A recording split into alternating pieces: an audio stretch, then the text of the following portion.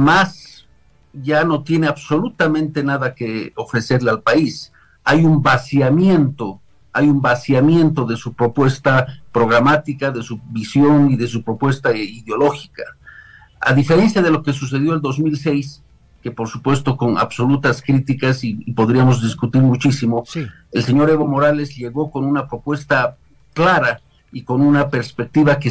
que, seduzco, que sedució a mucha gente en el sentido político con una asamblea constituyente, en el sentido económico un, proceso de nacionalización que por supuesto no se dio y, y, eso podría dar para todo un programa completo, pero el tema de fondo es que hoy el MAS ha degradado, se ha degradado a tal nivel que ya no hay propuesta, su única propuesta, su única prioridad y su única política es la de la pugna interna es la de la búsqueda del poder por el poder.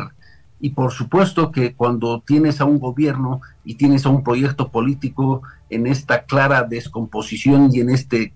evidente extravío, lo que, es, lo que pasa es que por supuesto la ciudadanía y la sociedad también eh, pierde el horizonte, pierde el norte y pareciera que estamos entrando a una etapa en la que si no enciendes eh, la luz del faro al final, esta sociedad, este país se puede ir, por supuesto, al precipicio mientras no encuentre en un nuevo proyecto, en un nuevo liderazgo, en una nueva visión de país, la, la expectativa y la respuesta que hace muchísimos años estamos esperando todos los bolivianos. Muchísimas gracias, Enrique Urquidi.